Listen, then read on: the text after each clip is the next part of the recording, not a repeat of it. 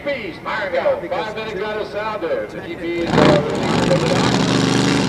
Greg Hawk of the GP 12.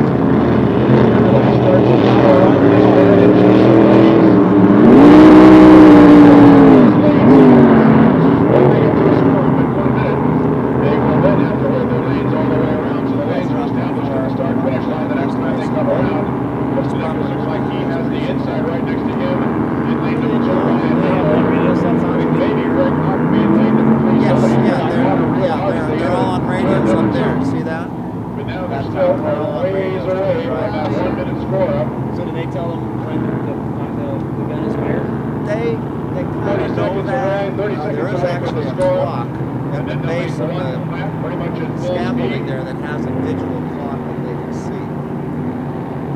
Carl, am I ruining your audio? No, nope, not at all. It looks like Ryan now. It's actually adding information to the feed. He's now in lane number one, but he's still only 10 seconds to go. And uh, he's going to be just a bit early. He's going to have a full shutdown. Five, four, three,